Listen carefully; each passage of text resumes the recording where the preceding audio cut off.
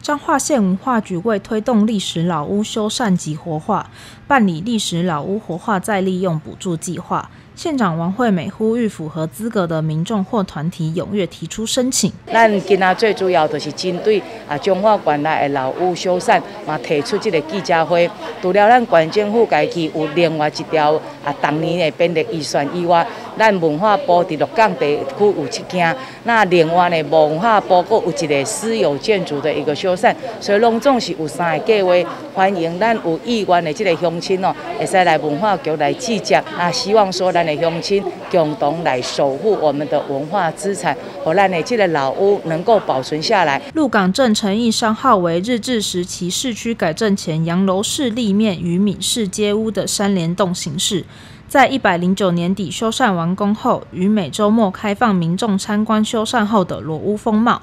期望能以家屋的建筑之美，唤起鹿港街尾街区的历史记忆。啊，因为这个房子好三荒废三四十年没有用，好啊，已经就是屋顶都已经塌了，好啊，如果去申请历史建筑，什么变数太大了，啊，所以就。呃，用申请这个老屋修缮补助是最快的一个方法。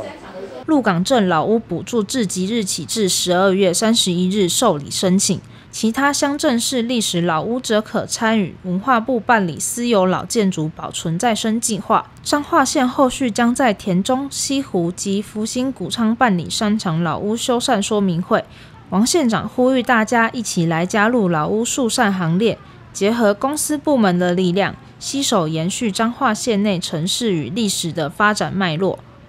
公益频道黄诗婷鹿港采访报道。